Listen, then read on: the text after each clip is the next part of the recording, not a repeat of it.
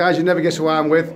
Um, if you're Coronation Street fans, I'm just with Brian, who used to be the head teacher in Coronation Street, and now he's got the cabin that he just bought off Norris. So he's going to say a few words for you. Hello there, everyone. Uh, I've just seen Darren Brand with his magic skills, which are superb. Signed this coin on both sides, and look what he's done to it. Isn't that brilliant? And he did a, a, a close hand magic trick, which was just fantastic. I mean, I was watching every single move he made.